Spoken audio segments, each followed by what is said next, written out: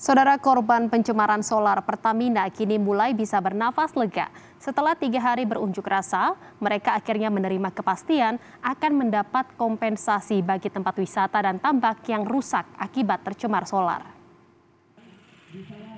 Pihak Pertamina Integrated Terminal Balongan berjanji memberikan kompensasi pencemaran solar kepada nelayan dan pengelola wisata mulai April mendatang.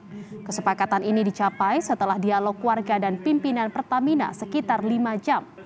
Warga akhirnya membubarkan diri setelah mendapat kepastian ini. Uh, jadi alhamdulillah untuk musyawarah terakhir ini kita sudah ada kesepakatan dan Pertamina uh, Patra Niaga uh, Regional Jawa bagian Barat bertanggung jawab atas kejadian uh, retakan pipa yang di 150 DWT. Bahwa karena ini sudah disepakati secara bersama, jadi uh, untuk ini kita masyarakat membubarkan diri pulang ke rumah masing-masing, menjaga kondusivitas wilayah uh, Desa Balongan dan Pemilik tambak mengaku rugi hingga puluhan juta rupiah akibat pencemaran solar dari pipa bocor milik PT Pertamina. Para petambak memilih menunda menebar bibit karena kolam mereka masih tercemar.